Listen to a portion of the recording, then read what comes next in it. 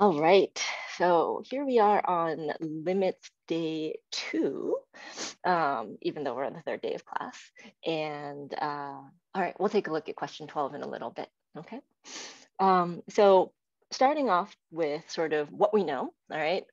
By now, I hope we have a general sense of what it is to, uh, what a limit is, meaning that the biggest thing that we wanna consider is it doesn't matter what happens when we get to the point. It happen, it matters what happens when we get really close to the point. Okay. Uh, you can almost think about it like, has anyone in here ever studied like really hard for a test? And then, you know, you put so much like blood, sweat, and tears into studying and preparing for this test. And you get into the test and you just bomb the test. That ever happened to anyone? It certainly happened to me before. Yes. Okay. So I think, yeah, chemistry, right? I've heard chemistry is definitely a challenge. Pre-calc also, so much content. Um, but when we think about our experience, um, I think a lot of times we see our test grade and we're like, wow, that was a really bad test grade. We must not be very smart, or I must not be very smart. And we sort of put that on ourselves and we don't really consider all that time that we put into it. Um, and I think when we think about limits in sort of a similar way, uh, limits actually are like challenging us to focus on what happens as we get really close to that moment and not necessarily what happens in that moment. Um, and so um, some of the limits questions we're saying what happens when we get close to this point? There's not actually a point there. That's okay. We just really care about what the y values are as we get really close to that okay? So if that analogy kind of helps you think about a limit a little bit better uh, that might be something you use to frame that. Um, we've looked at how to find limits graphically. I think that's something that for the most part, folks uh, seem to be grasping quite well, which is excellent. Um, and the algebraic part, we learned quite a few strategies yesterday. And so let's maybe highlight those here. That algebraically, uh, what's the first thing we always want to try when we're thinking about finding a limit without a picture? Substitution. Substitution, you got it. So substitution always comes first because like many things, we don't really want to do more work than we need to. And if we can just plug in the number and it's all good, why do anything else fancier? Okay. Now we talked about a few cases where maybe sometimes we needed to use factoring. Uh, can someone share uh, what a good clue might be about when you need to use factoring in a question? Uh, when there's like quadratics. Perfect. Uh, mm-hmm. Presence of a quadratic. I love it, right? And so maybe we remind ourselves it's like after we tried substitution, we got zero over zero. And then we tried the factoring, right? So we have factoring, we had conjugates. And conjugates was when we saw like sort of the inverse of a quadratic. We saw a lot of square roots. And so we, part of this was like, how do we get rid of the square root? We can get rid of those using conjugate. And then the last thing we finished off yesterday with was the idea of complex fractions. And I think that one was a little easier to see because if we saw fractions inside of fractions, then we know we needed to find common denominators and combine something, okay? So that's what we've covered in the last two days of class. But if we think about what's new, all right, the focus for this section is what is continuity? All right, so I think I mentioned before that there's a lot of vocabulary in calculus and part of mastering the content is being able to speak comfortably using these words um, or to write comfortably using these words. So knowing how we can define continuity, how it relates to limits, and we're gonna bring back a lot of trigonometry. Not a lot yet, but we're, we're gonna be using a lot of trigonometry. Okay, so I wanna put that out there as fair warning. Uh, I know for a lot of us, we took 141 and maybe 104 was like a while ago. So um, we'll have some assignments maybe next week that help us brush up on the trig a little bit. Uh, but I would encourage you if uh, if you haven't seen your good old friend, the unit circle in a while, I would I would find that friend again, maybe in the form of a PDF online or something like that. Okay, but the unit circle will be very, very helpful for us to know uh, throughout this course. All right, so we're gonna sort of dip our toes in that, start to think about how we can apply trig uh, and limits together. Okay. All right, so that's where we're headed for today. We're gonna go ahead and start with what is continuity, okay? So this is something that you all did yesterday, completing the limits and continuity activity on Desmos. And so I'm wondering, before we move forward, what kind of uh, concepts folks might have come across there. In other words, what were some main takeaway points that you saw in the Desmos activity that you completed yesterday? And I know one person said. Um, if uh, the y value at that value of x is not defined, then the function is not continuous. Ah, okay. Uh, if y value is undefined, at an x value, the function is not continuous. At that at that point, you know. At that point, yes, yes. At is not continuous at, at. Love it. Okay, so if you are trying to find a y value at a point and you can't find one, then that means that the function is not continuous at that very point. All right, looks like we got some great things in the chat too. If the point coming from the left and the right and what the point actually is are all the same, then it is continuous. That is fabulous. I love that. Let's let's get that down here. So um, if and instead of saying the point coming from the left, I'm just gonna switch that a little bit to say the limit from the left. Okay, so when we say the limit coming from the left, I think that sort of captures the idea of that y value from the left. Okay, so if the, sometimes we even call that the, that's not how we say that, the left hand limit. So if the left hand limit the right hand limit.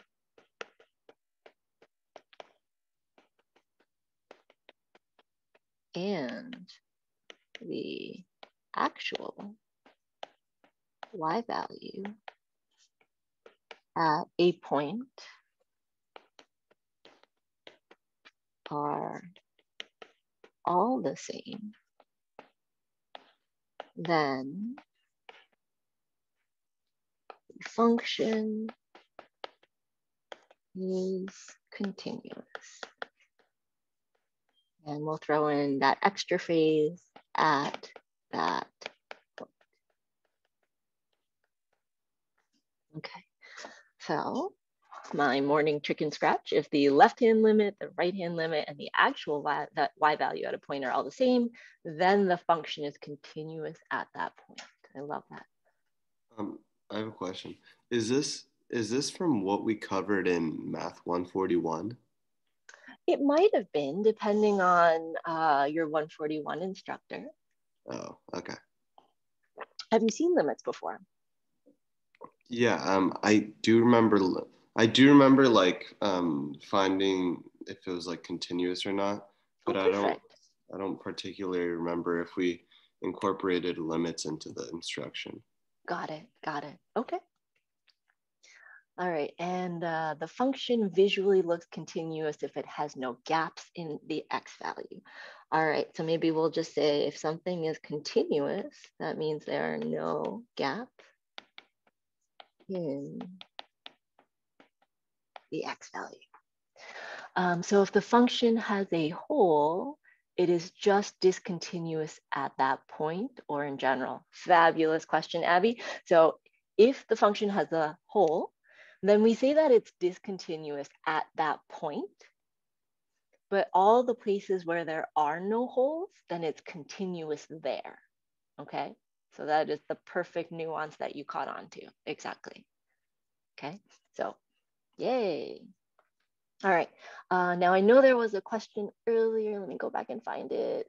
Um, in question 12, if function three was continuous. Let's see, function three. Ah, okay. Um, so we're going to talk about uh, how to do it with a piecewise function. All right, so that might be a good question to put down for ourselves. Uh, how to find continuity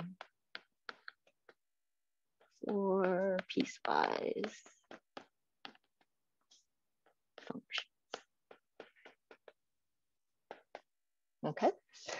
Uh, any other questions that folks came across as they were going through that Desmos activity yesterday? If a function is not defined, it is always continuous.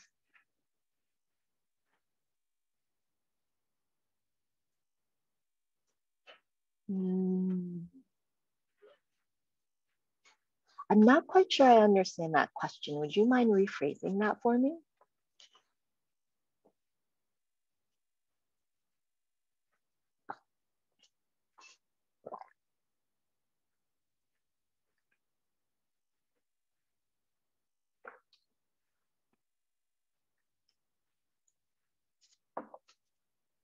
When asked to make a function, would a line be a function or two lines be a function?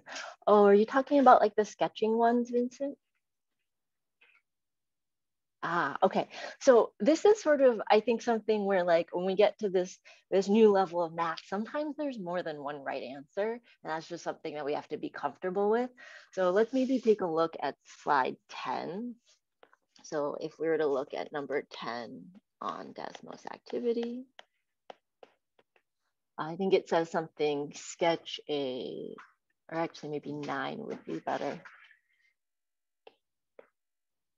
Number nine on the Desmos activity said sketch a function approaching two different points as x approaches negative four. And so you can kind of make that up, all right? And if we go ahead, whoa, all right. Thank goodness for the correction methods on Notability. But if we were to sketch a function, I think we all know that x equals negative four somewhere over here. And if it wants us to approach two different points, one possible answer might be something like this, where I could say from the left, it approaches this value, whatever it is, and from the right, sort of does something like that. That would be one possible answer. Okay. You could get fancier with your sketching and you could say, I don't want them to be straight lines, like just horizontal lines. That seems kind of boring. And you could make it maybe something more like this. That would be fine. Right. So that would be like another example of an answer uh, you could also move this point down below. That would be fine. So lots of different possibilities. Does that make more sense, Vincent? Okay.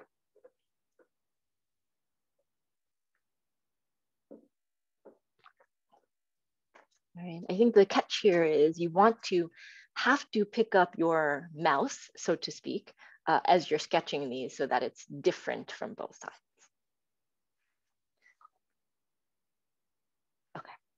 All right, well, if, uh, if that comes to you, you let me know and we'll address that. All right, so let's go ahead and move on then. Boop, boop. And here is a definition that we have, okay? Now, I think it's important for us to see sort of uh, like a notes version of things, but also a what does the textbook kind of say version because um, you know, as we sort of move higher and higher in our academic careers, sometimes uh, instructors expect us to read out of textbooks. And I think math textbooks can be really intimidating. So I like to sort of cut and paste from the textbook and we can kind of dissect that language together, okay? So we have this definition. A function f of x is continuous at a point A if and only if the following three conditions are satisfied. And so I think this lines up really well with the contribution we had earlier. The first thing in our checklist is that f of a is defined. Right? F of a is defined. Now, one thing we might want to add to this is that the y value at a exists. That's like another way of saying that. When someone says f of a is defined, that means the y value at a exists, okay? Once we check that off, we have two more things to check, all right? We need to make sure that the limit as x approaches a exists. Now, the way this is written, would you say this is a left-hand limit or a right-hand limit? Ah, no pluses and minuses. So exactly, this is the, we call this the over all limit, meaning from the left and the right. Okay, so the overall limit. And the way we know that there's no plus or minus sign there. No plus or minus means that from both sides, it has to be approaching the same value, okay? And the last thing on our checklist, we're really saying that the overall limit equals the y value at a. All right, so the overall limit is equal to the y value at a. Now, if all, th all three of these things are true, we have something that is continuous, all right? However, all three of these things in the pink mean that it's continuous at point A, but a function is discontinuous at point A if one of these things is not true. You don't need all of them to be not true, you just need one of them to not be true. Okay, and so we'll talk about that as we look at some pictures and hopefully that'll clarify that definition a little bit. So let's look at this picture. We've seen this picture before, but now we're asking a slightly different set of questions, okay? Now I asked you, I think on the first or second day, I said like, what's a weird, ooh, is it lagging? Okay.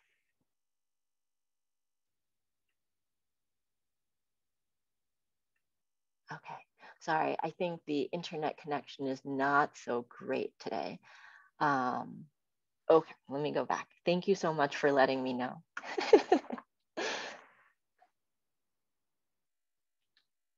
All right. Is this the part that we have questions on that I cut out on?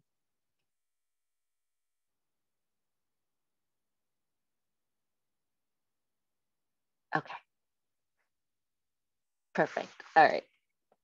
Um, so what I was saying is that a function is continuous at a point when all three of these things are true. However, a function is discontinuous if only one or at least one of these things is not true. Okay, so a function is discontinuous if one, oh, at least one of the three conditions is not satisfied. Right? So in order to be continuous, you need all three things to be true. But as soon as one of them isn't true, it is not continuous anymore.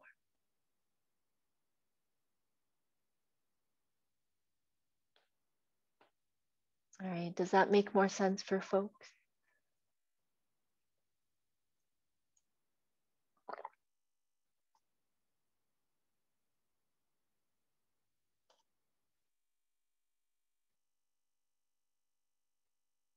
Yes, Vincent, that is absolutely correct. All three have to be true in order for it to be continuous. And as long as, oops, 1 is not true.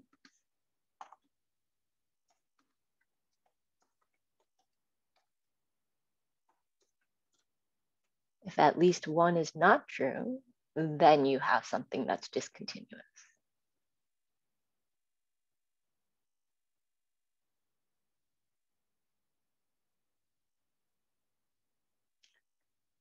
Is it still cutting in and out or is it better?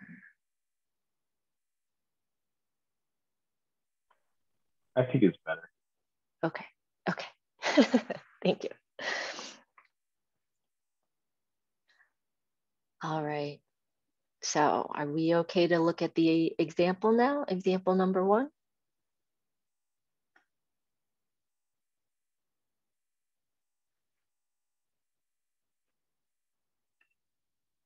Yeah, okay. All right, so we've seen this picture before. And on the first day that we looked at this picture, I said, what are some X values that are kind of weird? And you folks said that zero was kind of weird. And two was kind of weird. And so, yes, that's what we're going to do right now. Okay.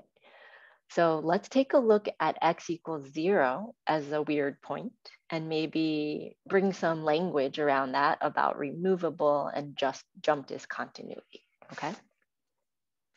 So right now, we're going to focus on x equals zero. Okay, so what happens at x equals zero? And we're going to break that up into a few different questions. So first question, f of zero equals zero, okay? Or f of zero, what does that equal? And so we can see from our graph that the y value of this point is three, okay? Meaning when x equals zero, y equals three. That's what we're really asking ourselves. Now, what about part B? What is the limit as x approaches zero for this particular function?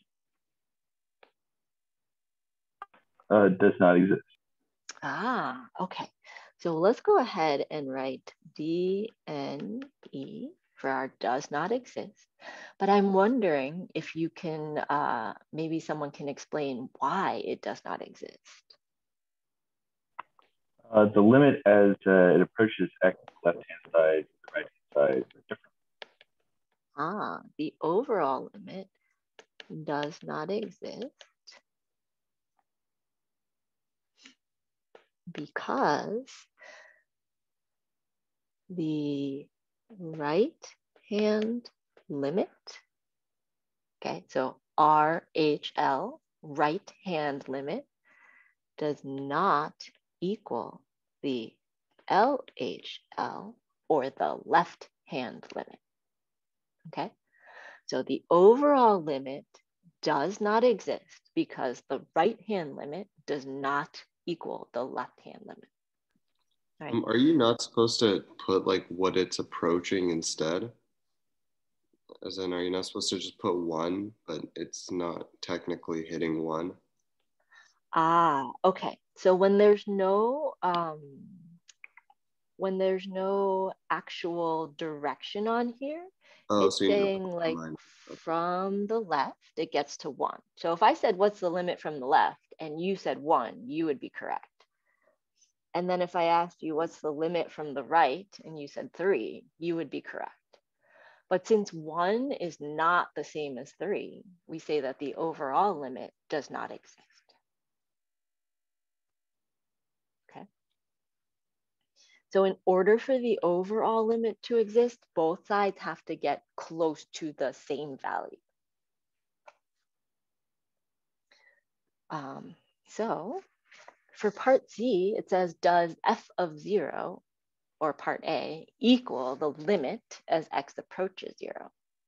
I think we can see from our answers that three, which we got from part A, is not the same as does not exist. So what we can say here is that uh, no, f of zero does not equal the limit since three does not equal does not exist. Okay. So this, these three questions, A, B, and C, are actually our checklist from above. Is f of a defined?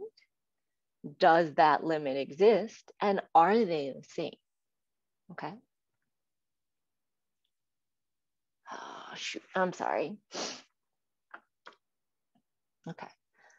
So part C, all right, part C, if you look at part A, we got three as an answer.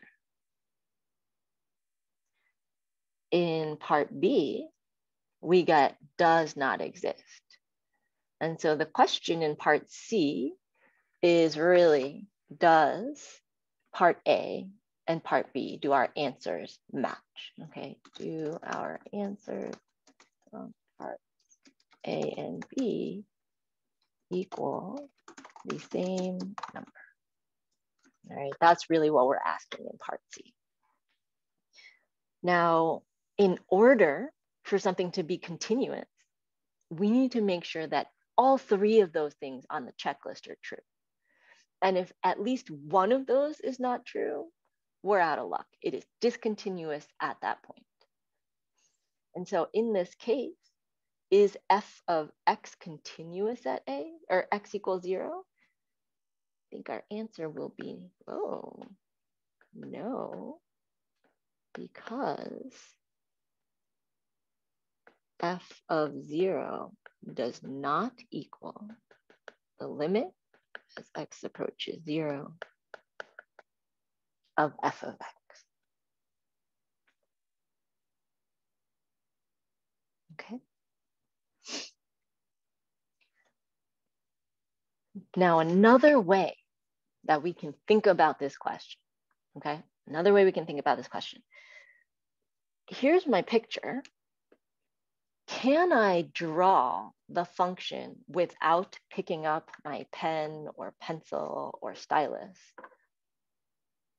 And I think our answer would be no, because if I draw this side, I trace it all the way to here, I have to pick up my pen or pencil or writing instrument and then start again up here. Okay. And so the moment I have to pick up my writing instrument, that point is discontinuous. Okay.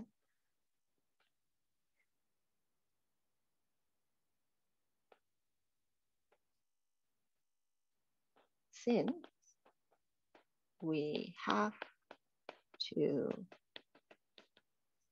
pick up our writing instrument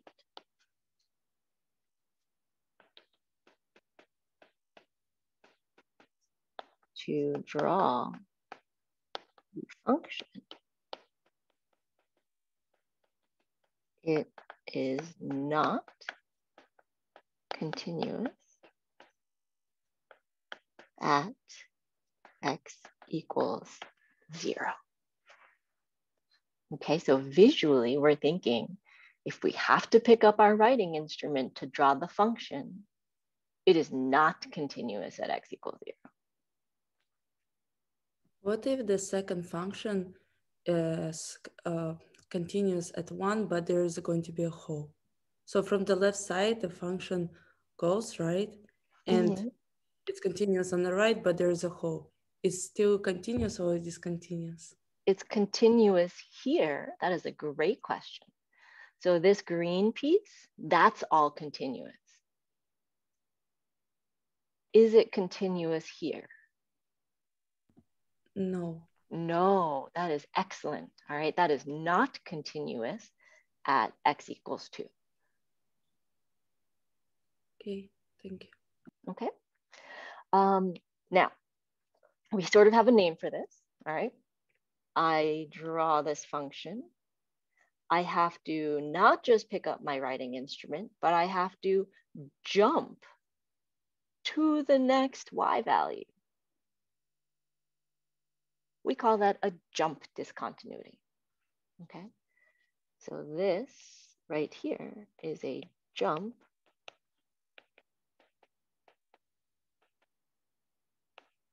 discontinuity,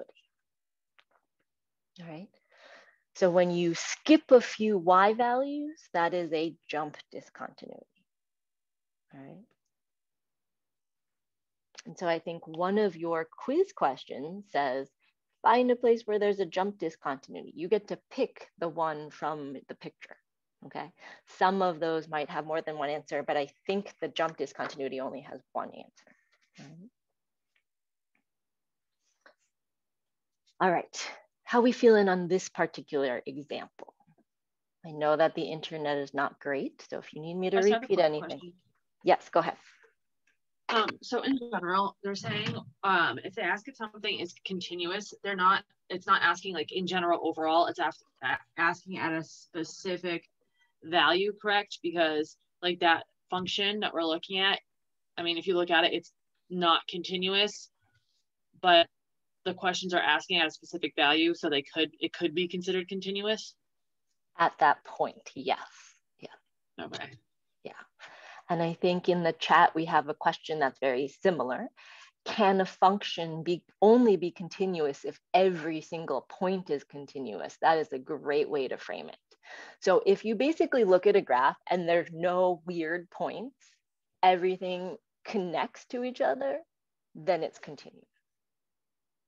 So most of the functions we've ever seen in our math careers are continuous. But now we're just looking at some weirder ones where we have those discontinuities in there.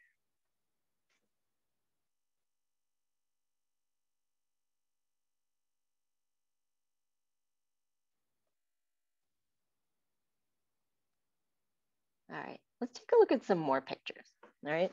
So a little bit less uh, scaffolded, but let's think about how we can use some of the language there.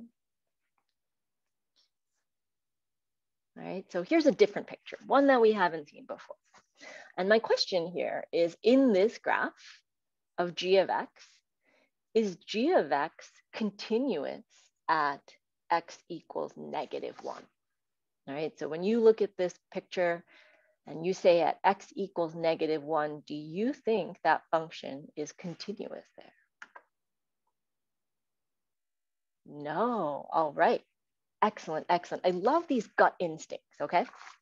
And so let's see what happens. Um, I would agree that g of x is, g of x is not continuous at x equals negative one, okay? Now the way I want you to explain it though, all right, and the way I want you to explain it, I want you to go through that checklist. And I want you to tell me which one of those is not satisfied, okay? So we have a few possible reasons here. One answer might be that g of x is not continuous at x equals negative one since uh, g of negative 1 is undefined. Yes, exactly, exactly. There's no value, there's no y value at x equals negative one. Exactly, Sophia. So since it's undefined, we actually don't really need to go through the rest of the checklist because we found one thing that is not true. Okay. Another thing we might say though is, and so in addition, uh, let's write this out, the limit as x approaches negative one from the left, so that little minus sign means the left, of g of x does not equal the limit as x approaches negative one from the right of g of x. So I'm intentionally using a lot of the notation that we've been learning over the last few days because I think our contributions are great. And I wanna make sure we know how to read and write in a way that is uh, making sense for anyone who's taking a calculus class, okay? Um, what is the right hand limit as x approaches negative one? A two. Yeah, it is two, okay? So maybe we make a note for ourselves that this is actually two. Uh, what is the left hand limit as x approaches negative one from the left? Like now we're coming from the other side it doesn't exist because it's approaching an infinite value. Mm, okay, so I would say there's almost two uh, possible answers here, and it seems like we've got them both here. Some schools of thought say that the limit on the left does not exist, and other schools of thought say that it goes to positive infinity. Okay. Um, it depends on who you talk to. Some people are sort of pickier about some things than others. I will accept both answers. Okay. So when we are going following this on the left, we can see that it goes up to positive infinity. Okay. So positive infinity is a, a valid answer. Other people, though, say positive infinity is not a number. So we're going to call that does not exist. All right. Um, that's a good question. I know it sounds silly, but I'm not sure that I've reached a sort of consensus about that yet. I think it is probably the positive infinity, but I am genuinely okay with both answers.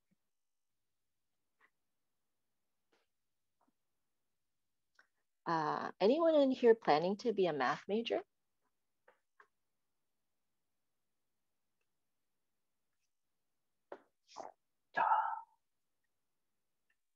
Okay, thanks for your patience. Um, so I think I tend to go with positive infinity, but okay with both.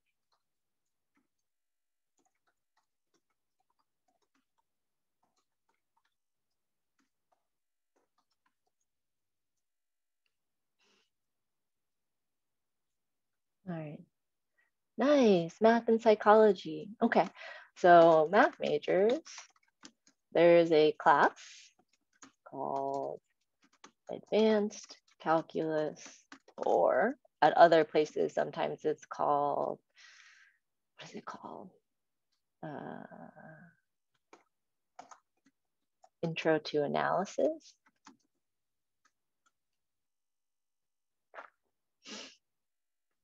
And in that class, you learn a lot more about how we know the things that we are learning right now. Okay, so that's just a little food for thought in case you are thinking about being a math major. One of the courses you will have to take is an advanced calculus or an intro to cal intro to analysis class. And you talk a lot more deeply about like what a limit actually means and uh, whether it exists or it doesn't exist, okay?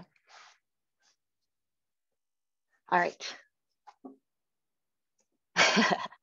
depends on the school, depends on the major. Um, okay, so is g of x, let's take a look at part B. Is g of x continuous at x equals 2 from our picture? What do we think? Yes. Yes, right? Because if I look at this picture and I want to draw like this whole part over here, I don't have to pick up my stylus at all. And so what that means visually is when I look at x equals 2, it is going to be continuous, okay? But let's use our checklist and make sure we know how to say each one of those is true. So g of x is continuous at x equals 2 since we'll kind of go through those one at a time. Uh, what is g of 2? Someone tell me what g of 2 is according to the graph. Approximately 1. Yeah, it looks like it's about 1, right? Close enough. Let's maybe mark that up. Maybe about 1. All right, so we have that value. What about the limit as x approaches 2 from both sides of this function?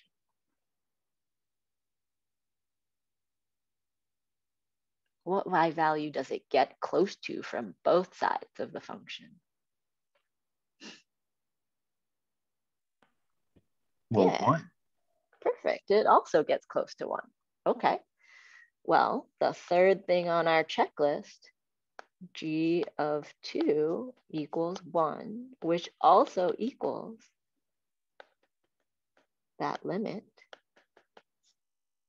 And since all three things are true, it is continuous. Okay. All right. So let's do this. Let's take a break here. Okay, so I'm gonna go ahead and stop the recording. All right, folks.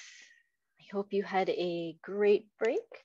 I hope that the Wi-Fi is a little better for the second half of class. So thank you for being patient. Thank you for letting me know when things are lagging. Um, and with that, I'm going to go ahead and kick on the recording. We'll go ahead and start where we left off.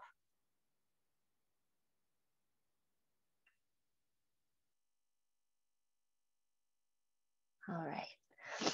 So before the break, we were taking a look at uh, some pictures and now and trying to figure out is it continuous is it not and now we're starting to bridge that gap we're taking a look at a question where there's no picture provided but we are going to use that picture. So we're going to use technology to find a picture and then figure out how would we know if we didn't have the picture? In other words how could we find out algebraically what the discontinuities are like, all right?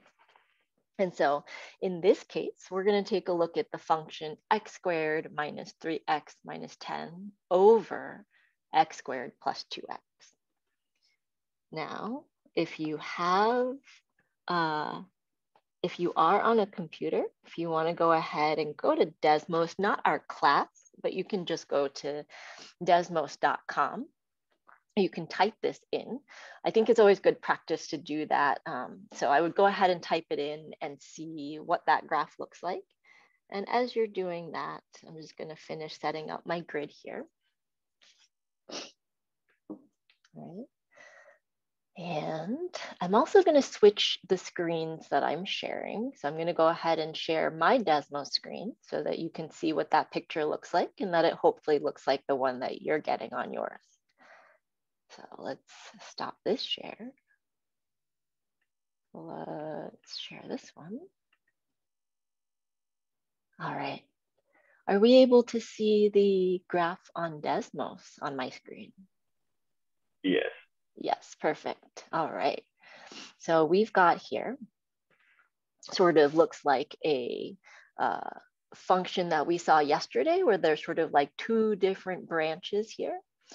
Um, but one thing I said in the notes is I said, determine the location of the two discontinuities. And so that might require you to kind of click around on the graph and see where you find a place where it says undefined, right? I think one of them we can see right away from the picture, but the other one we have to sort of look for a little bit more. Uh, anyone have any guesses as to the location of one of the discontinuities? And uh, x equals zero. Y equals, y equals one. Ah, can you give me an x value? X equals zero. X equals zero. Yeah, I, I agree. I think that we have a discontinuity at x equals three, or sorry, x equals zero. Uh, yes, all right, so Brittany, that is secretly a way to find discontinuity, all right? So when we're looking and we see an asymptote, when we were in pre-calculus, we just knew that it was an asymptote. Now we're saying that is actually a discon discontinuity within our function, okay? Uh, and I see someone else has said x equals negative two. So let me go ahead and click on my here so we can see all of these have y values. Uh, has a y value, has a y value, has a y value. Well, excellent. Great job x equals negative 2. When I click on that, it's actually undefined. And so when I sketch my graph, I want to include that little hole in the function, okay? So let me write this down and then I'll reshare my screen. All right.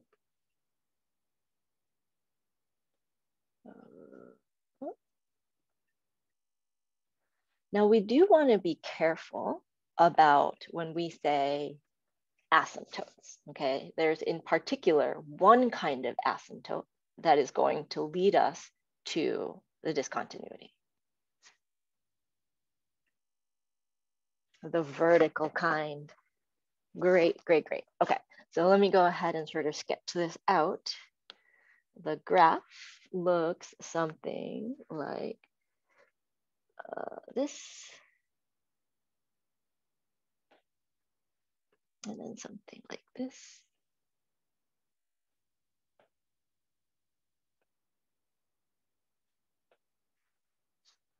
Okay, that's not too bad for a Wednesday morning.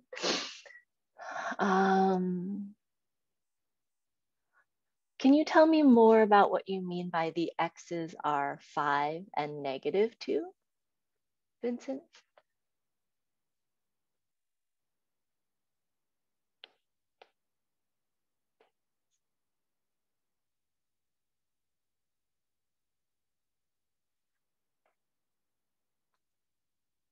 Oh, okay, okay. I love that. Uh, let's let me pause on that for a moment. Let's finish our graph and then we're gonna actually do exactly what you're talking about on the right-hand side. And I think we'll answer your question there, okay? So we have this graph, we looked at it. There was a vertical asymptote here, all right? And we knew the location of that asymptote was x equals zero. And this in particular is called a uh, an infinite discontinuity. All right. It is an infinite discontinuity because when we look at the limits from the left and the right, they are completely different. In fact, they both go to infinity or negative infinity, okay? So when we see a vertical asymptote, to us, we're gonna now connect that with the language of infinite discontinuity, okay? Now the other discontinuity that we found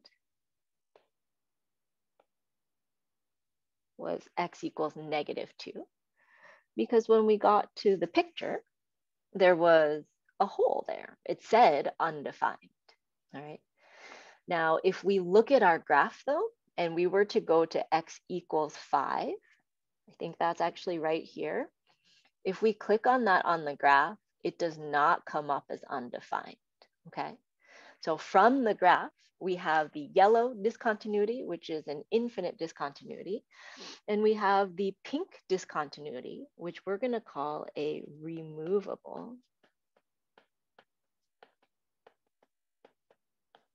discontinuity. Okay. And a removable discontinuity just means that it was a point, just one point that everything else around it stayed the same, but we took that one point, tossed it away. We're like, we don't need this point. We're all good. Okay. We didn't change anything else about the graph, but we took one point out and that's it. So that's called a removable discontinuity.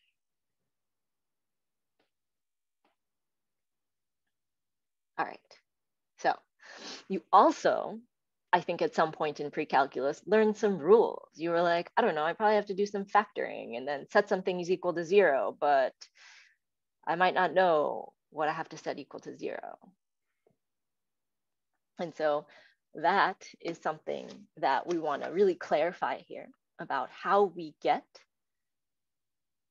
discontinuities using algebra, okay? So I think it is good practice in general to factor, right? So we see some quadratics here. Let's take our original function. And if I factor the numerator, I'm going to find that I have x minus 5 and x plus 2. And when I factor the denominator, I get x and x plus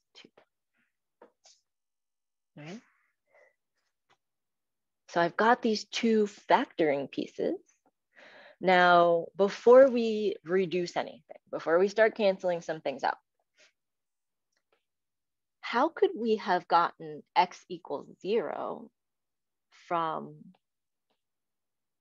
the equation over here? Like how would I have gotten that there is a vertical asymptote at x equals zero based on just the equation?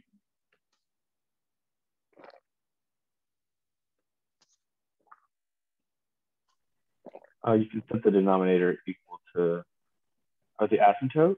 Sorry. Mm-hmm. Yeah, yeah.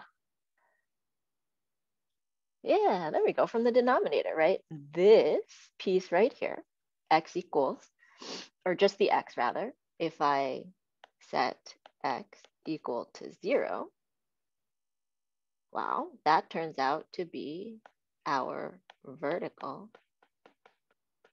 asymptote. Uh, also known as our infinite discontinuity. All right, so that x in the denominator gives us our infinite discontinuity, okay? But how could I have found the second one? Our x equals negative two, because that one is a little bit sneakier. Like I didn't see that on the graph until I sort of dragged my cursor along and found that undefined spot. How could I have told from the equation? Ah, yes. Okay, so yes, both of those. There's the same factor on the top and the bottom, right? So maybe this sounds familiar from pre-calculus if there is a factor that is in the numerator and the denominator, in other words, the one that we would reduce, that gives us our hole, okay? And so at x plus 2 equals 0, if we solve that, we get x equals negative 2. This gives us our hole or we call that our removable discontinuity. Okay. Would we would we use the quadratic formula to find where that hole specifically is, or is that something I remember that's different? Um, where would you use the quadratic formula? Um, I don't know. I just remember in some of my old algebra classes, we uh, use the quadratic formula to find where the hole is. I don't know ah. if that applies here. Um, I think this is sort of the moment where we use, we let go of that quadratic formula and we replace it with that idea of factoring. Um, so most of the questions, uh, pretty much all the questions that I will give you are factorable. So we won't really see any weird decimals. Uh, there'll be things that sort of factor nicely like this. Got it, okay. Okay. Uh, so let's see, Vincent, is the negative two that is discontinuous coming from the numerator or the denominator? So Vincent, it is actually the fact that it's in both of them that gives us the hole. All right, so if you, you're looking at factors and you see that same factor in the top and bottom, that's the hole, okay? But if you see it only in the bottom, that is your vertical asymptote, right? Uh, Catherine, do you always set that equal to zero or only in this problem because that is the specific discontinuity for this function? Great question. Um, so if you have a uh, calculator and if you type in like five divided by zero or any number you want divided by zero, your calculator will give you an error message. And so what we're, that error message means you either have a hole or a vertical asymptote. And so what we're trying to say is, how do we know where those are? Well, what makes the denominator zero? That's really what we're focused on. What makes the denominator zero? So we are specifically setting them both equal to zero because that, that's what makes the denominator zero.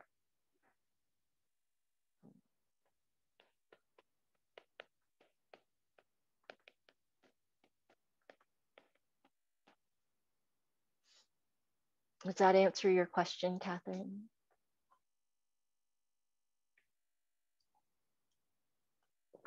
Okay. All right. How do we feel about example number three, using a graph to kind of see where they are and then confirming algebraically how we found those. It's all about the denominator, okay?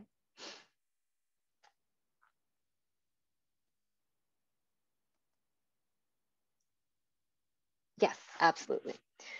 So the factor that is only in the bottom our x, that corresponds to our vertical asymptote. Right? So anytime you have a factor that's only in the bottom, that's going to be a vertical asymptote.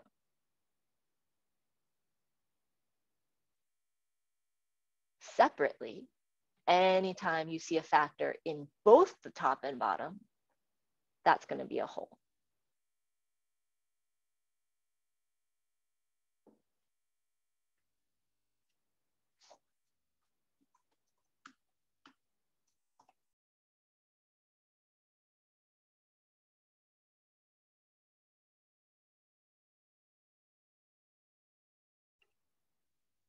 Hi, folks. Sorry. Where did I cut off?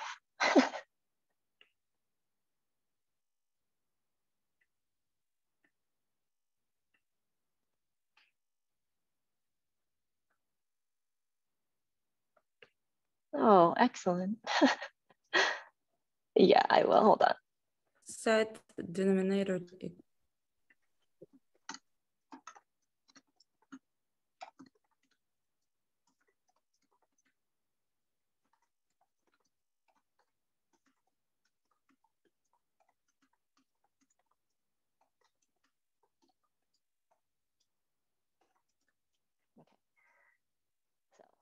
if the if a factor is only in the denominator, then setting that equal to zero will give you the vertical asymptote.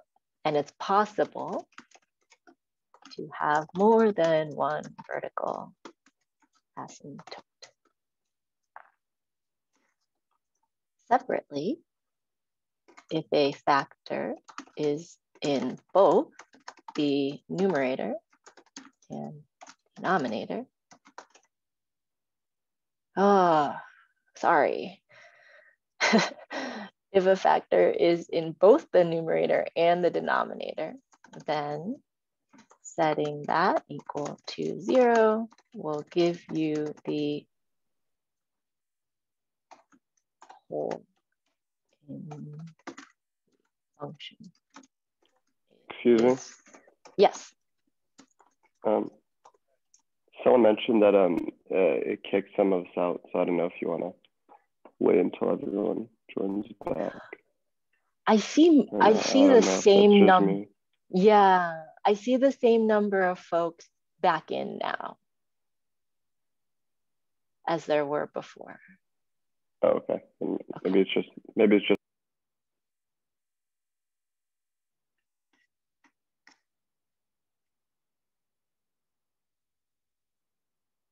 Got it.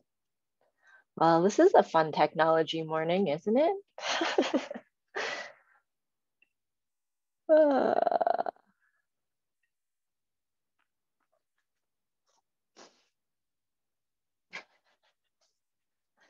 yeah. All right, was everyone able to see that in the chat about the factors in the numerator or factors in the denominator?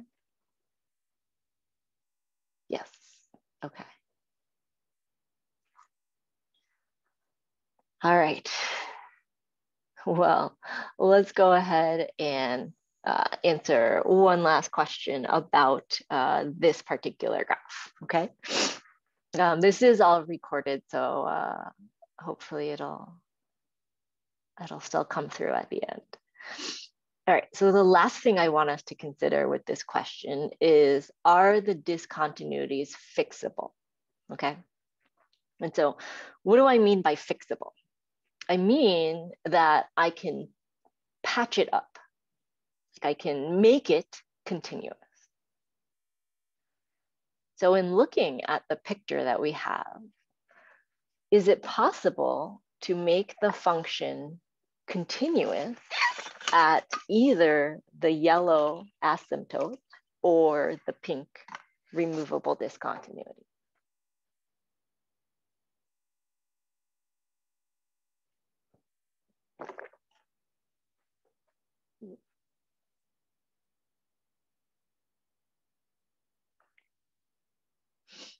Um, like, can I make it so that I can now draw that without picking up my pen or pencil.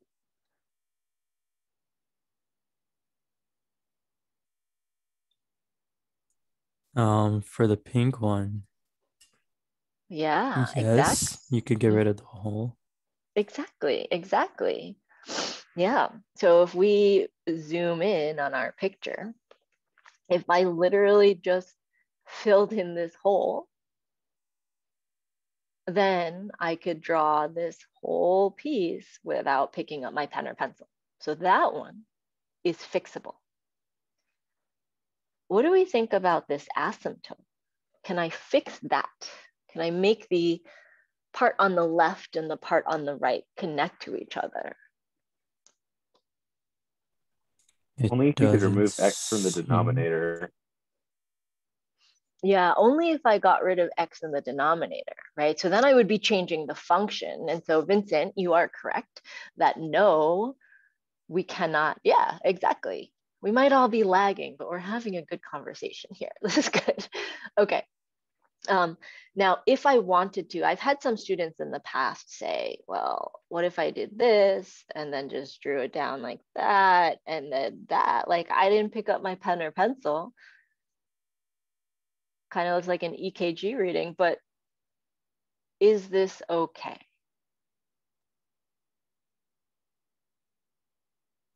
No, because the function is undefined at the S. Exactly, exactly. In fact, I don't know if you remember learning about the vertical line test to see if something is a function.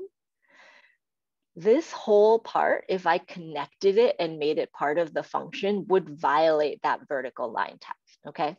And so the moral of this uh, question is that some things are fixable or patchable and some things are not, okay? So let's write here that uh, the hole at x equals negative 2 is fixable if we let x equal oh, y equal, hmm, what value, what y value would we want to give that? And I think I saw someone say earlier, like, what if we reduced it? So what if we reduce that? If we reduce that and we plug in negative two, like we were finding a limit, that would give us the y value that would fix it all, okay?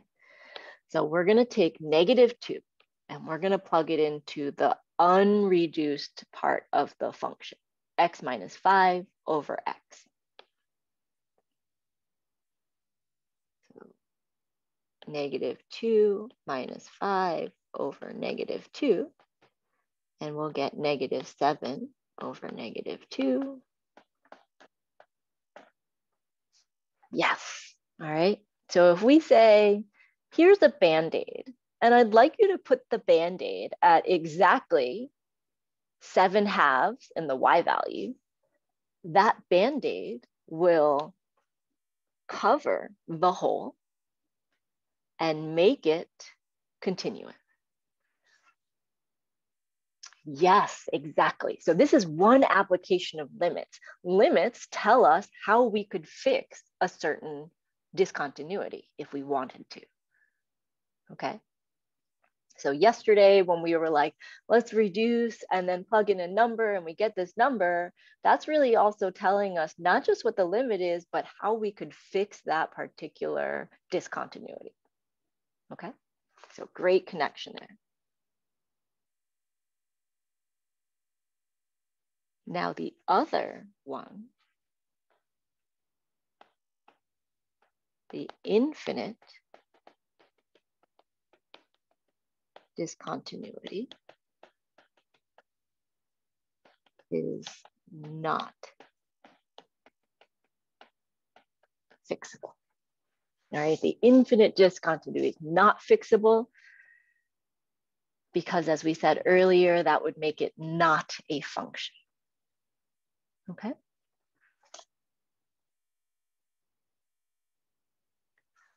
All right, I know that was a particularly bad moment in our uh, technology. What other questions might we have? Are all removable holes fixable? Yes, they are.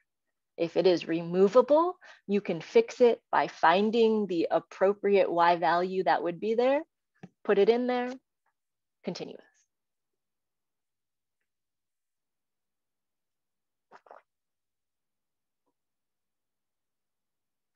Ah, there are not. There are a couple more that we'll talk about, but these are two of the more common ones, okay?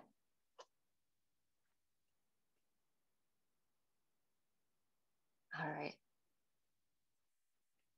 Let's take a look at example four, okay? So example three was kind of a bridge where we still had a picture. And now we have a piecewise function with three pieces, no picture, and we're going to try and answer this question. Okay. So if k of x equals 3x minus 2 whenever x is less than 2,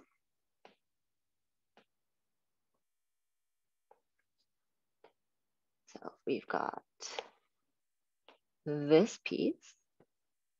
Okay.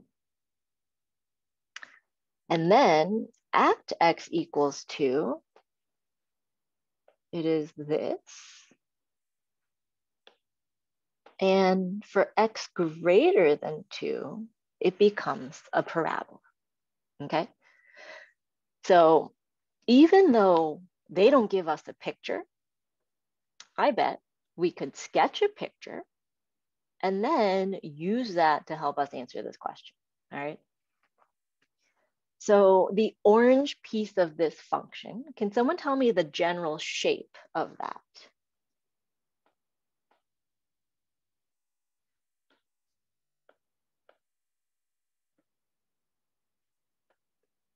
It is a line, a linear function. Great. Uh, what is the y-intercept of the orange piece?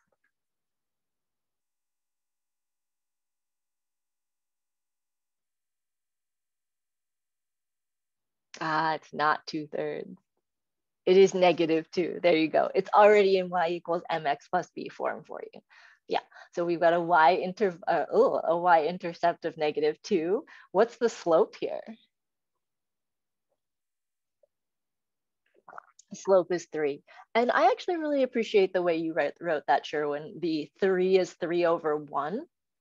Because I think sometimes when we're graphing, we forget if there's no rise over run, like if we don't see the run part, we forget what it is. So I like that you built that in three over one, okay?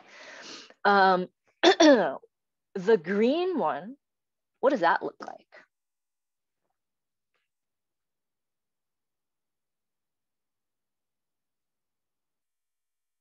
Ah, okay, a horizontal line, okay.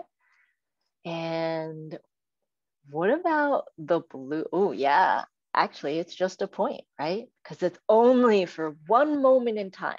When x equals two, that y value is gonna be five, okay? Uh, what about that blue part? Parabola. All right, all right. So we've got a line, we've got a point, we have a parabola.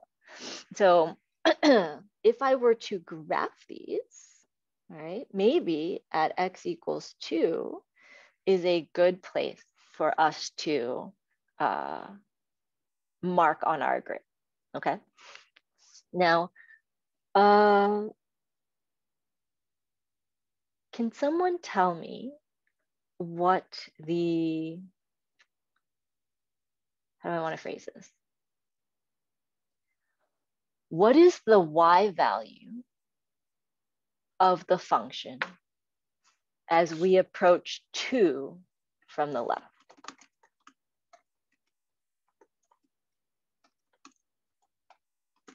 Five. All right, I heard someone say five. All right, what is the y value as we approach two from the left. Oh, five and four. Okay, we have competing answers. So let's let's dive a little bit more deeply.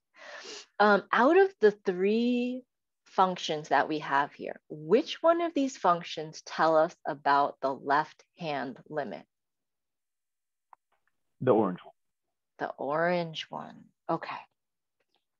And so what we're going to do here is we can use the orange one to help us find the left hand limit. And so what we can do is plug in two everywhere we see the x, and we'll get six minus two or four, okay? Which means that I don't need to sketch the line perfectly. I know that the it's going to go something like um, this. Okay. And in particular, this is a y value of four.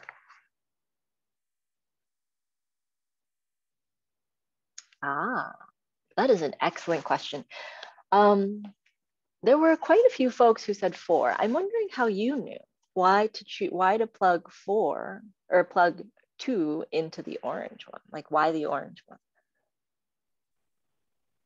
We need to look at the graph left of the point x equals two to determine uh, what it's approaching that side. So we need to look at the uh, equation that defines the graph at x is less than 2 Mm-hmm. Yeah. So let's think about like, what's a number to the left of two?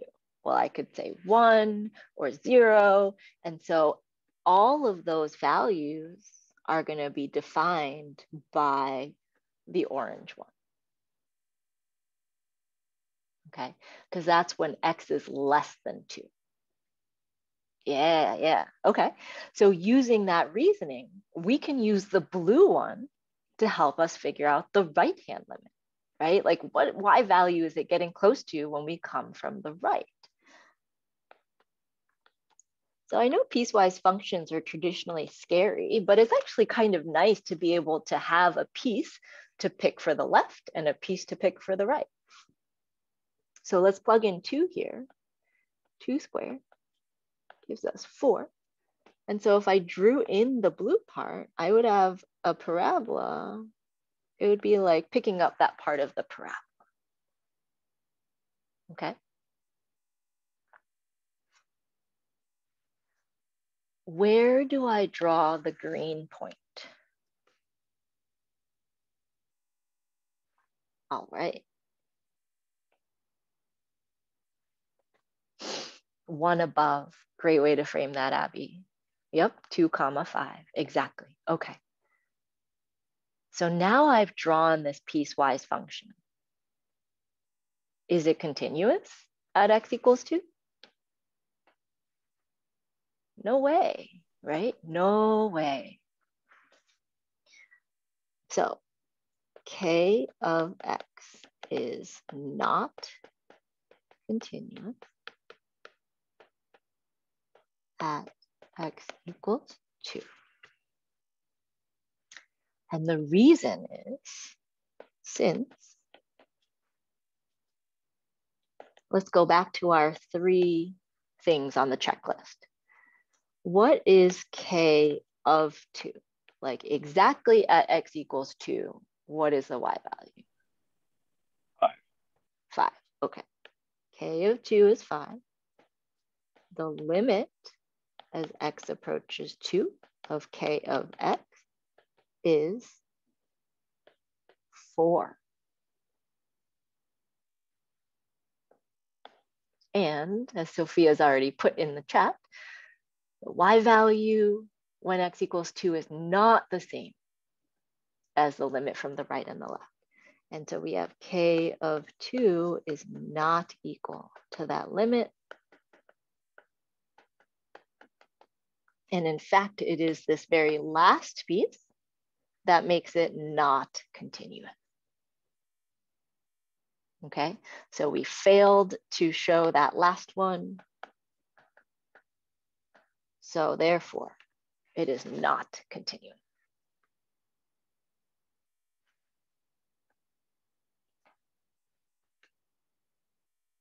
Exactly. We have a open circle at x equals 2 because it's less than or greater than. It doesn't have the less than or equal to or greater than or equal to. Perfect.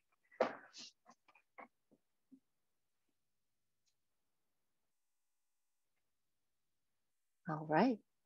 So hopefully a little bit of uh, familiarity with working with piecewise function, um, but graphing, making pictures for yourself, um, if pictures are not provided, definitely a very useful skill, I think, in the calculus series.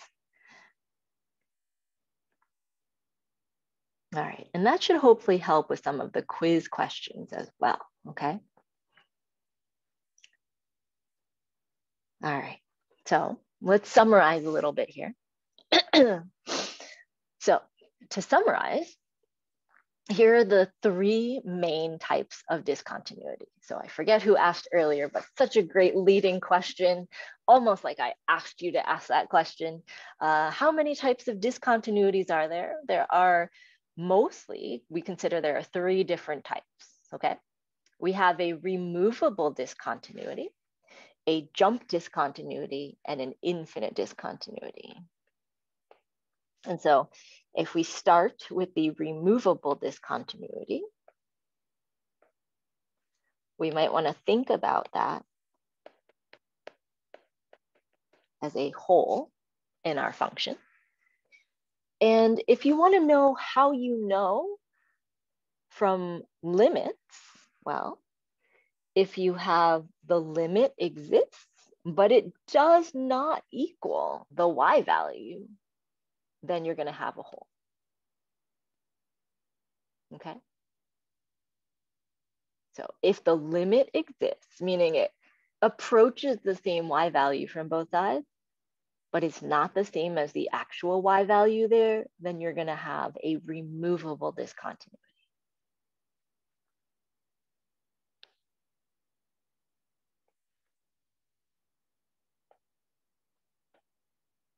What about a jump discontinuity? Well, from a picture, we see that we sort of have two different pieces and then there's a gap in the y values. We jump a few y values. And so anytime we're jumping y values, we have a jump discontinuity. So if the left-hand limit exists and the right-hand limit exists, but you know what? They're not the same. And so if they're not the same, that means that the overall limit does not exist. Then we've got a jump discontinuity. Okay. And finally, if we look at the infinite discontinuity, all right, an infinite discontinuity exists if we have any of the following. Your limit gives you plus or minus infinity from the left, and it gives you plus or minus infinity from the right, right? Meaning it sort of shoots up into positive infinity or it goes super far down into negative infinity, all right?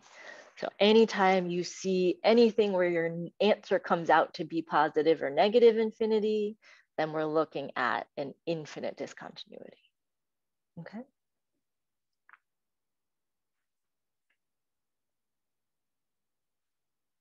All right.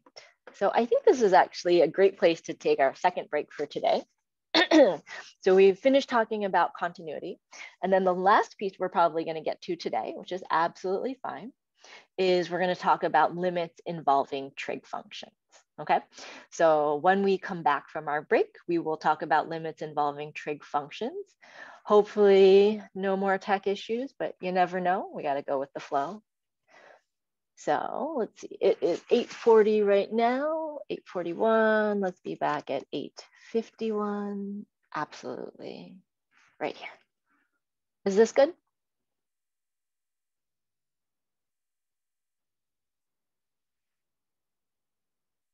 Okay.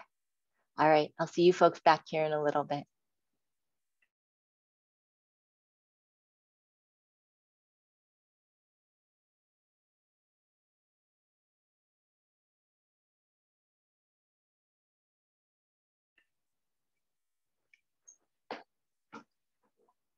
Home stretch, exactly, home stretch.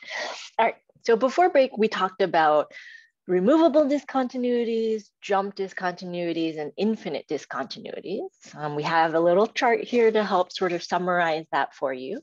Uh, but I would definitely make sure you know how to use the chart in connection with some of the problems that we've taken a look at, okay? Now, for this last part of class, we're going to take a look at limits involving trigonometric functions, okay? In particular, we're going to look at two special cases that we tend to see fairly often, okay? And so the first one is f of x equals sine x over x. And when you graph this on Desmos, you get something that kind of looks like this, all right? So similar to a sine function, we see that we have waves, right? So if we think about a sine function, we know that that has waves. But how is this different from a regular sine function? Like what would you say looks different about the picture?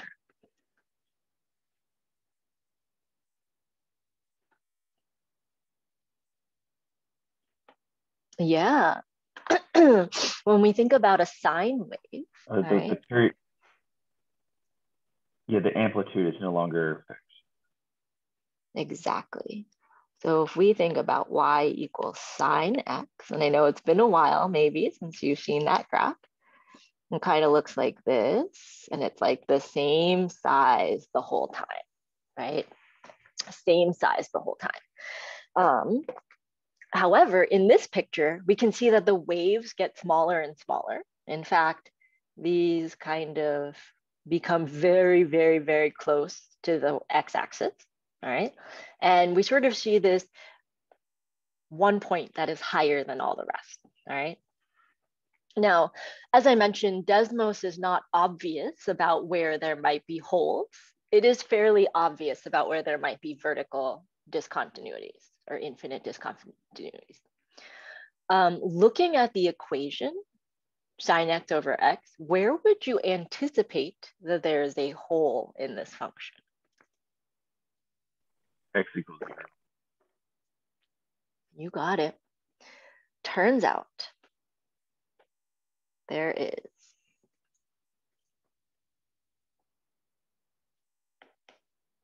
a removable discontinuity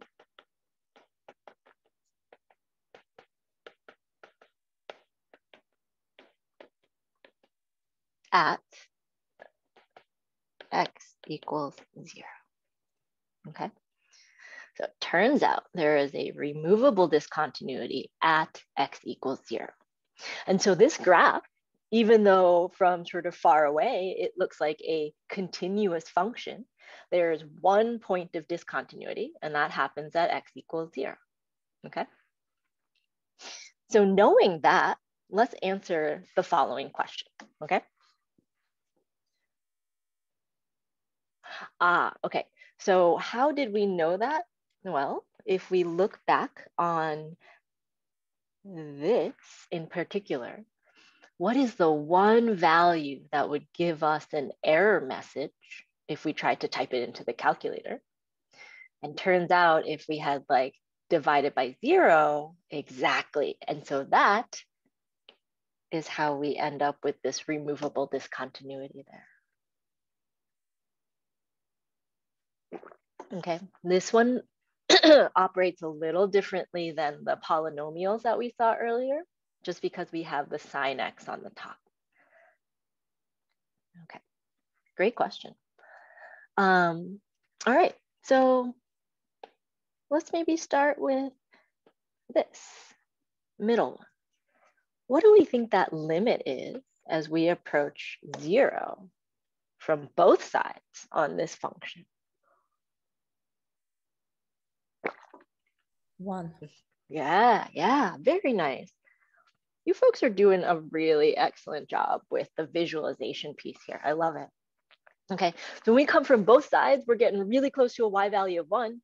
We don't actually get there, but that's okay, right? We still need to acknowledge the fact that we're getting close to a value. Perfect. Okay, now knowing that this amplitude or the size of the wave seems to get smaller and smaller, what do you think the y value is going to be when, and this is a little new for us, when x goes to infinity? Like if I go all the way out as far as I can get, what do you think that y value is going to be? Zero. Yeah, nice they become so flat, so close to the x-axis that they basically have a y value of zero. All right, well, what can we say about if we go all the way to negative infinity? It's gonna be the same, it's gonna get to zero. Perfect, okay. So moral of this story, you need to be really, really careful about what X is approaching okay? So if x is approaching zero, we can say that the limit of that function is one. However, if we go out to infinity, we're gonna get zero because the waves get so flat. And if we go out to the other end, negative infinity, we're also gonna get zero. Okay, so it's important to read the little number underneath the limit part um, before we sort of decide what our answer is going to be. Okay. Uh, all right. So let's take a look at some questions, shall we? We've got, for example, five. the limit as x approaches zero of sine 7x over x. Now, I know we don't have a picture here, and we're actually not going to generate a picture for this particular question. Um, but based off of what you see above, what's your guess? What do you think that limit is going to be when we have sine of 7x over x?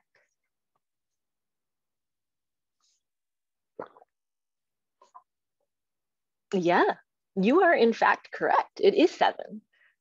Okay. Uh, let's play another what if. I don't know if you could see this down here. What do you think about sine x, sine 7x over 4x? What does our gut tell us that might be?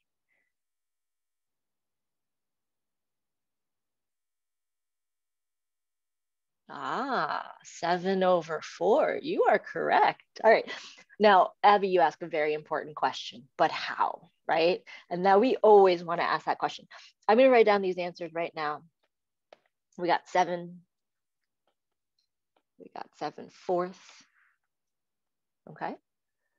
What do we think about uh, example seven? What does our gut tell us that that might be?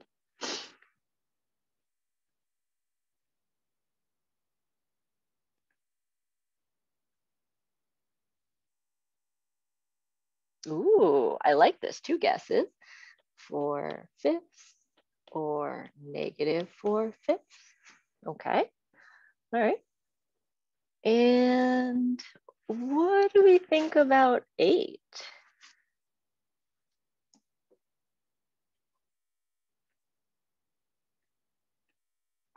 That one's a little different, but I'm going to test this out. Okay. All right, cool. Well, the neat thing is we can actually use algebra to solve all of these, all right? So let's go back uh, to answer that very important question of, but how though, right? We need to know how and we need to know why. So, well, let's start with uh, example five, okay?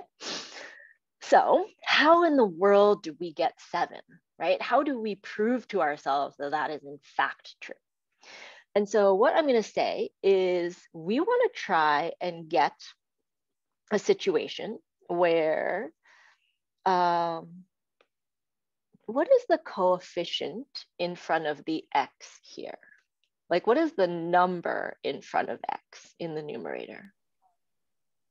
One, good. Okay, well, what is the coefficient of x in the denominator? One. One. Okay, now it turns out that that is actually insanely important. The fact that the coefficients are the same mean that you're going to get a limit of one as you approach zero. So what I mean by that is if I had sine of 2x sine 2x over 2x, the limit as we approach 0 would be 1. If I had sine of 5x divided by 5x, the limit as we approach 0 would be 1. So it's not just that it's sine x over x, but it's sine of something over that same something. Okay. So how could I, what would I need to make the top and bottom coefficients be the same? Like what would be so, so nice to have as a coefficient?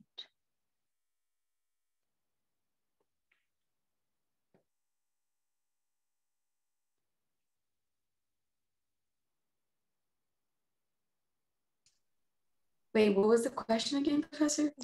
I don't think I asked that well. That's okay. Um, so how could we make the coefficients on the top and bottom be the same?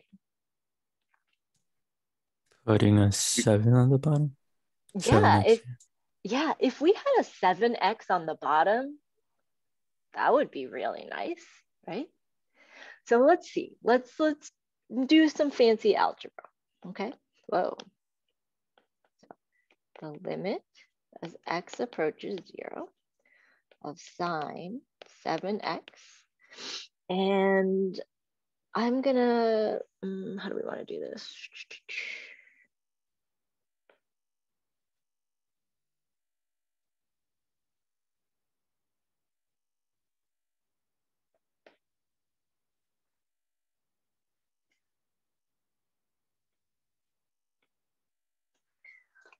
What could I multiply by, like a fancy way of saying one, to make the bottom have a denominator of seven or have a coefficient of seven? The reciprocal? Uh, the reciprocal, if I multiplied those, that would give me one. But as Hamid said here, if I have a seven down here, my denominator now becomes x times seven, or 7x, right? But we want to be really careful not to change the question. So just like Vanessa and Sophia said, we want to make the numerator here a 7 as well. Now we have a fancy 1. We're not changing anything, but we end up with the denominator we want to have. And so if we multiply this out, we'll get on the bottom 7x. And this 7 is actually going to be the coefficient of the sine part. So 7 times sine 7x.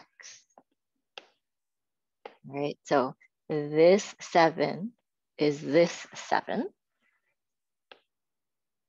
And the bottom 7 is that seven.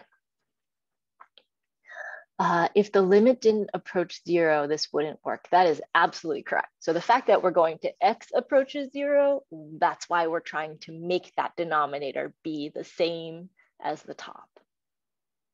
Okay.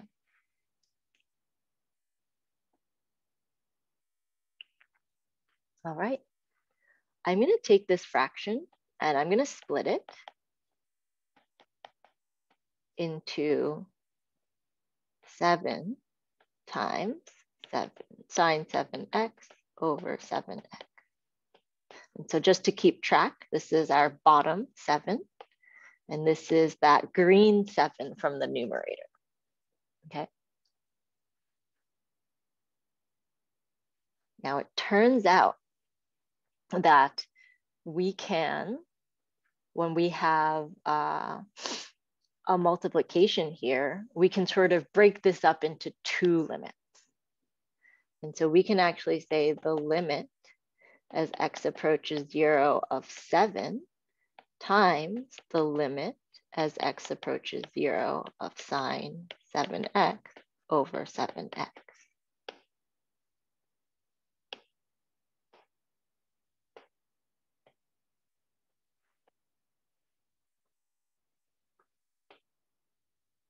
This, my friends, limit as x approaches zero of sine 7x over 7x.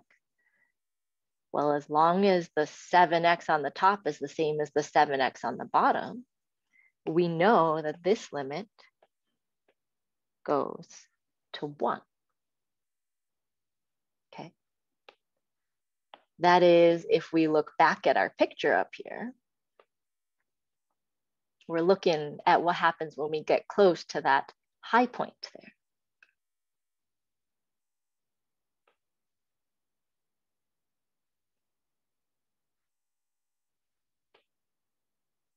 What about this?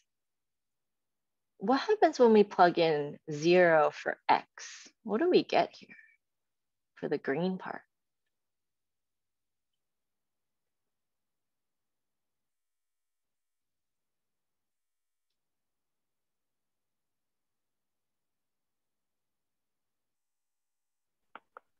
That's just the limit, right? Like that's just the statement that is the limit of x approaches zero from either side, the limit is seven.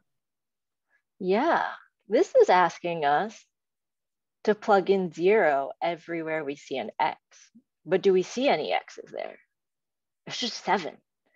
So it turns out that we end up with seven times one, which gives us seven, which is what we thought might be the case when we started. Okay. Let's try example six. Okay, I think it, it feels a little bit easier once we've seen one and then we try a different one, okay? So let's see how we can confirm our answer of seven for, for example six. All right.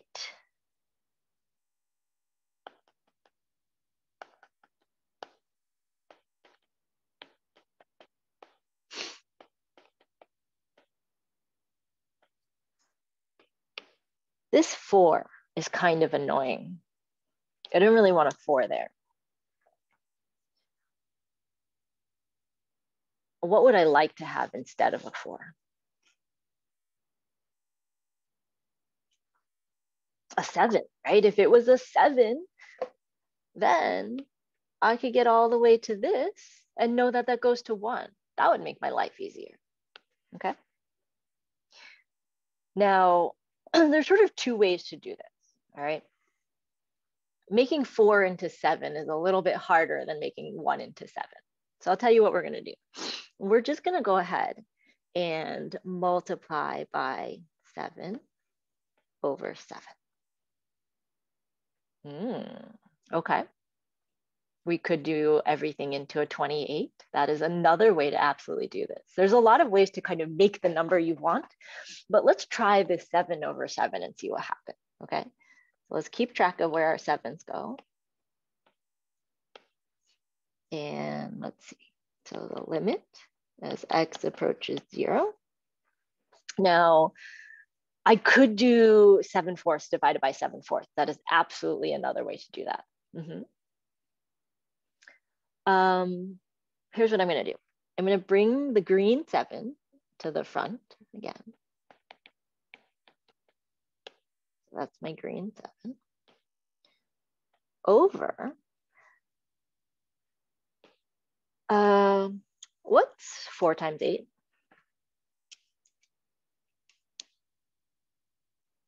Four times eight is 32. Okay, what's four times seven? 28. 28. Okay, what's seven times four? Still 28. Still 28. Okay. When we multiply, does the order matter? No. No. Okay. So here's what I'm going to do. I'm going to take this purple seven and I'm going to make it the coefficient of the four. And I'm going to keep the four out here and then times 7x. So instead of 4x times 7, I have 4 times 7x because when we multiply, the order doesn't matter.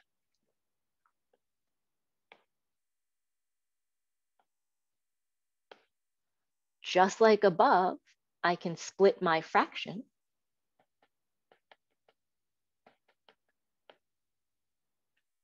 But this time, I'm going to have 7 over 4 times the limit as x approaches zero of sine 7x over 7x.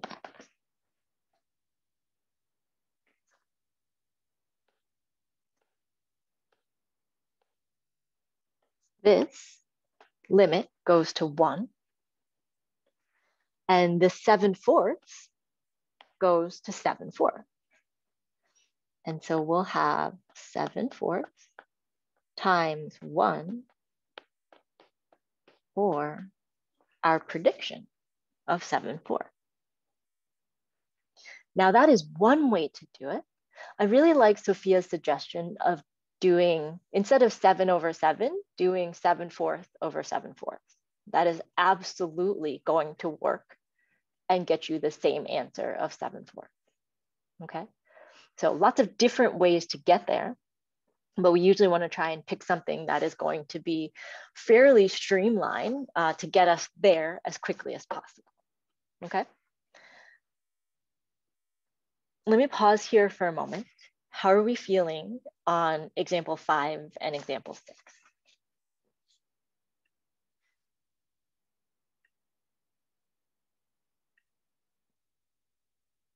Better now, okay, okay.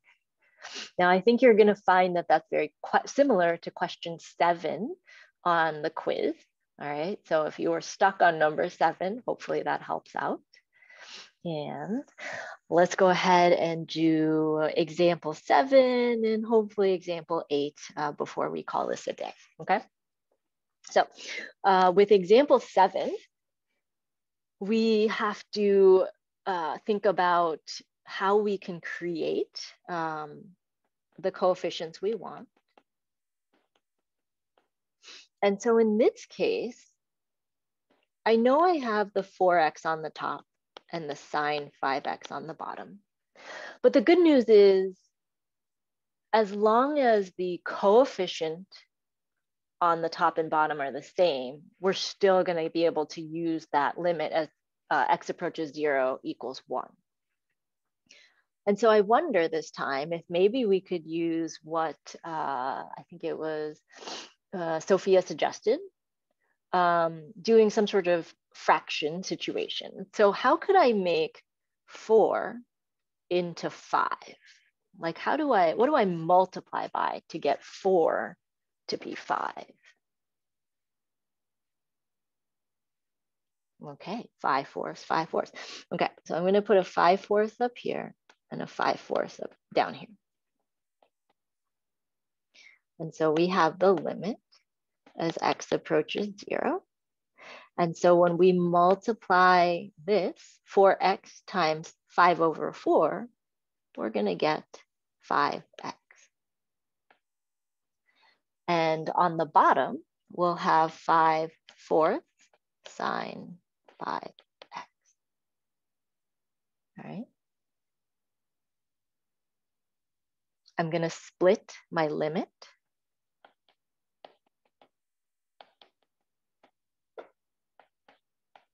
I'm going to write it as 1 over 5 fourths, but you'll help me change that in just a little bit.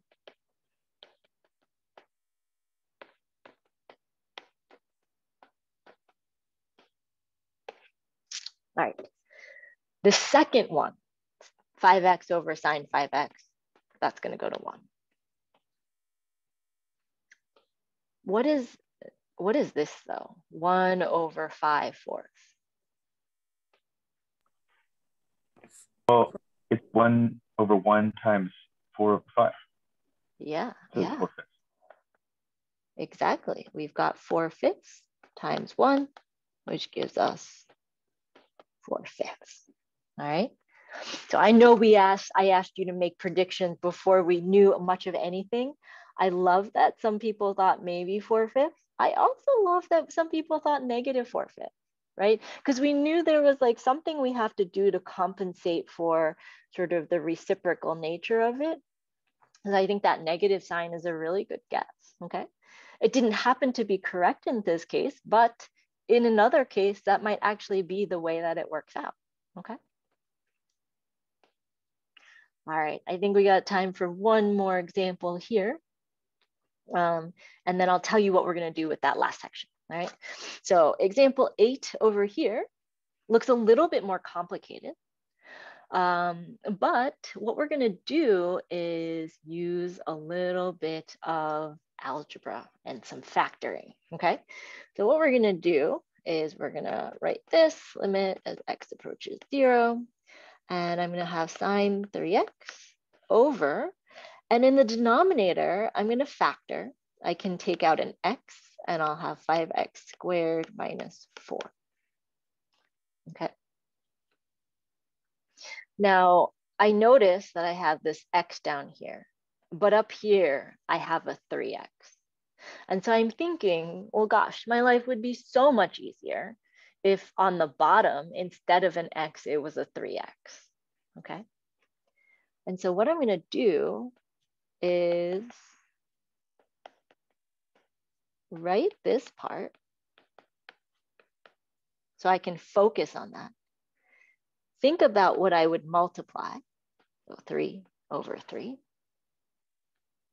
And then I'm going to write this part at the end. 1 over 5x squared minus 4. Okay. So because I'm multiplying, I can split things up like this. And in the middle, I can, whoops, I can say, here's the thing that looks so similar to the other questions that will give me the coefficient I want.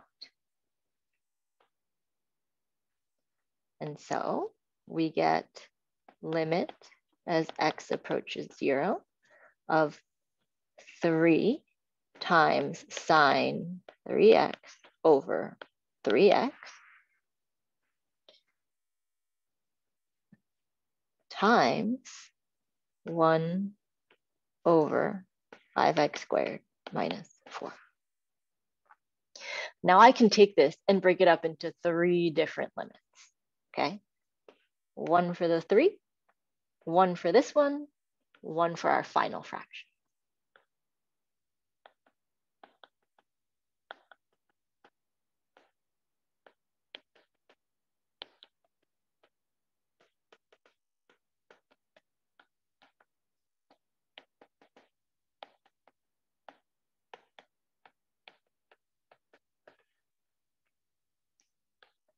All right. What is the limit of the first limit? The limit of x approaches zero of three. That's gonna be three, good. All right, what about that second one? One, good, all right. What about the last one?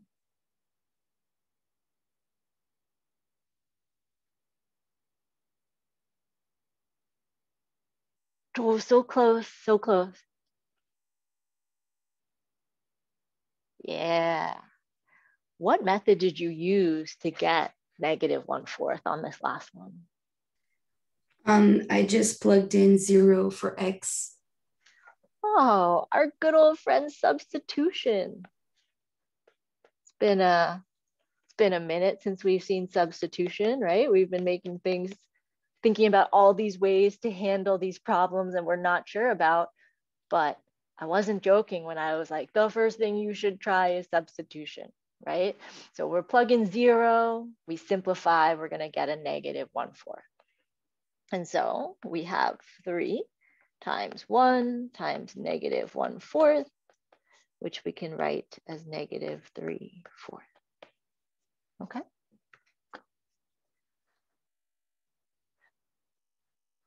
All right, so we are, we've got about like two minutes left. I'll tell you what we're gonna do. This section right here, the sine x over x, that one comes up a lot. It's gonna come up a lot in calc one, or not a lot in calc one, but it will come up again in calc two again. So this is like a one that definitely is a really common one, okay? There is a second one sort of limits with trig. Um, that is a little bit less common, but that we can still uh, use. Um, I will leave this as sort of like extra material if you want to try and fill this part out. You are more than welcome to give it a go. Uh, but this will not be on an exam and it's okay that we're not covering this particular topic okay? Most, uh, most of the time we just do the sine x over x. Occasionally, if we have time, we'll cover this one too, uh, but I don't think that's working out in our favor today and that's okay, all right? So this last page here is not going to be on the exam. It's not on the quiz, so I think we're good in terms of that, all right? So it is 924. Give you an extra minute back in your day. And uh, I will see you folks tomorrow. And yes, you should be able to complete the quiz using what you know from today, okay? Uh, I will be on Discord later in case folks have any questions. So definitely feel free to reach out, okay? All right, folks, be well.